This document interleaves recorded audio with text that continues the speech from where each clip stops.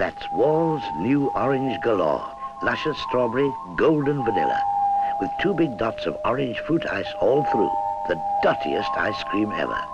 Afters are much more fun with orange galore, because it's got a new flavour. Fun flavor! Yes, fun flavour. Won't have all the fun flavors. Just follow that sign for new Wall's orange galore.